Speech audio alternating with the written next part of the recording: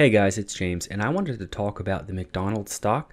I wanted to see how much McDonald's stock you needed to own to be able to have $1,000 in dividends a month and then $100,000 of dividends a year. And then we'll also take McDonald's and compare it to an S&P 500 index fund. So first, let's take a look at uh, McDonald's stock here. We're in my single fund investing calculator ticker symbol MCD. So the share price right now is sitting at $268. The dividend yield is 2.06%. Expense ratio is zero as it's a single stock. It pays a quarterly dividend. So every quarter you would get about $1.38 at this share price and dividend yield percentage. And then annually for every share you own, you would get $5.53. So let's run through a few scenarios here. But first, before we start changing these numbers, again, this number, we know that this number right here is sort of a guess or an educated guess of what we expect McDonald's to, how it, we expect it to perform over the next one to 10 years. So I have my one short-term graph here, one to 10 years, and then I also have my long-term graph here, and you can just see the power of compounding interest due to dividend reinvestment. We will round out this Excel workbook by looking at the dividends, and then we'll go over to my fund versus fund calculator and compare MCD with VOO. First, let's go back to the single fund calculator and take a look at the McDonald's Seeking Alpha page Here's the share price. Here the dividend yield is 2.06, so every year $5.52. If we look at what we're going to try to do is determine or guess what the annual growth rate for McDonald's would be. So over the past year, it's been about 25. Percent. Over the past five years, it's been 118%, and the past 10 years, 169%. So you can see right around 2014, there has been massive growth. And I personally think it has to do with McDonald's on the international level. McDonald's, I actually personally work as a sales engineer, uh, and we sell a service to the restaurant industry and McDonald's is the number one brand I believe it has or number one brand for the amount of restaurants globally. They're sitting around 39,000 restaurants and if we take a peek at how many new restaurants they're opening, it looks like, according to Yahoo.com, they're opening about a thousand new locations annually. And I believe that most of it is in the international market. So I believe that's why we see this massive increase or we start to see this rise here. If we take a look at the max data that McDonald that Seeking Alpha has all the way back to 1970, you can take a peek and see that McDonald's has only gone gone up, which is pretty impressive. So we will probably go with an annual growth rate for the next one to 10 years from between 10% all the way up to 25%. Let's take a peek at their dividend payouts. So this McDonald's is a dividend aristocrat. They have been paying dividends for close to 45 years. If we look at their dividend payout here over the past five years, it has only increased we look at the max data that Seeking Alpha has, and from 2008, it looks like they started from an annual changed from an annual dividend to a quarterly dividend and have kept that for about 13 years, and it has only increased every single year. Let's go over to the single fund investing calculator.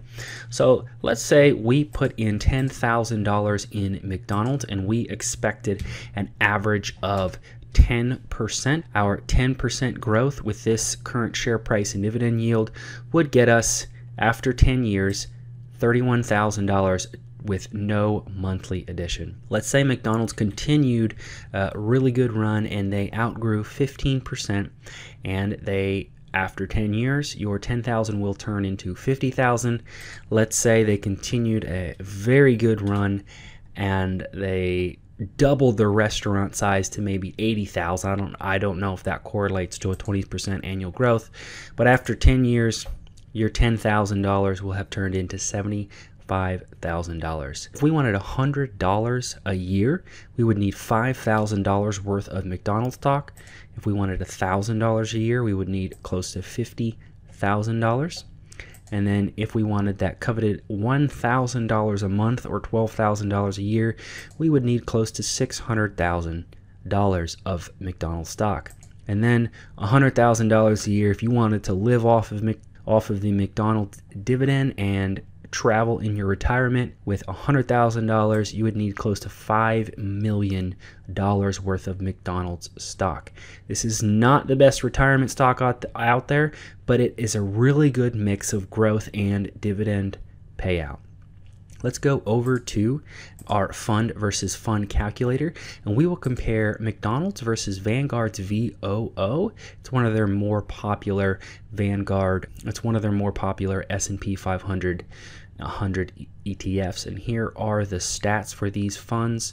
And we come down to the annual dividend. The dividend for VOO is a little payout is a little bit more just because the share price is a lot higher. And then we come to the growth rate.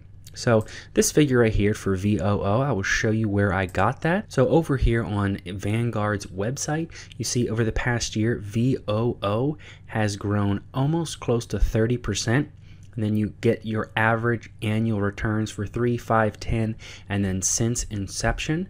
So we're going to use a range of 15 to 27% for VOO but I will tell you this let's compare McDonald's stock with the S&P 500 with an S&P 500 index. Whatever percent growth we use for VOO, let's use a little bit more for McDonald's and I'll show you why. Just a, a quick note right here from financechill.com. If you had invested only $500 in the S&P in 1980, it would be worth $15,000 today, which is not bad. If by comparison you had invested $500 in McDonald's, it would be worth $73,000 today. That's after 40 years. Now, obviously, McDonald's is not going to have the same amount of growth as it did the next 40 years as it did the last 40 years, but there's an idea there of how fast McDonald's has grown compared to the S&P 500. And if we come over to the Motley Fool, we can see from 1980 all the way to 2012, McDonald's with dividends reinvested you can see how much more it has grown compared to the S&P with dividends reinvested. So we can just make a, a few educated guesses here. Let's say VOO since inception, remember it was 15.85% growth. Let's say next year, 2022, at the end of uh, 2022 December, let's say the S&P 500 VOO grew 20%, and let's say McDonald's grew another 30%.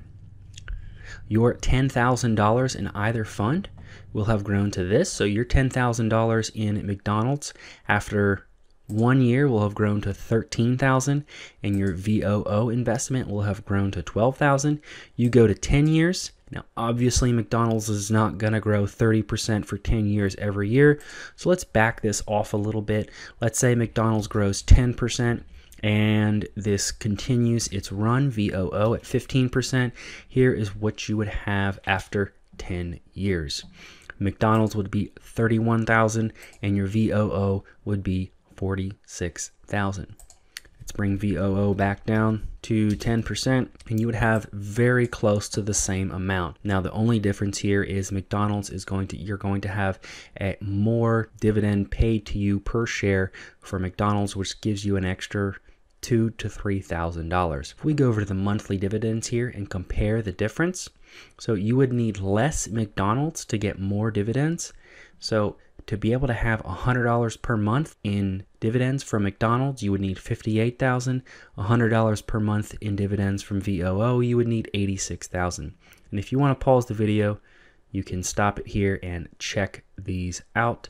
Here is your annual dividends if you want $1,000, 10,000, 25 or $50,000 per year, here's how much you would need with these two stocks. If you guys want access to these calculators, head over to Patreon, links in the description. Hopefully you guys enjoyed this. Do all that good stuff, subscribe, like, comment. Thanks for watching.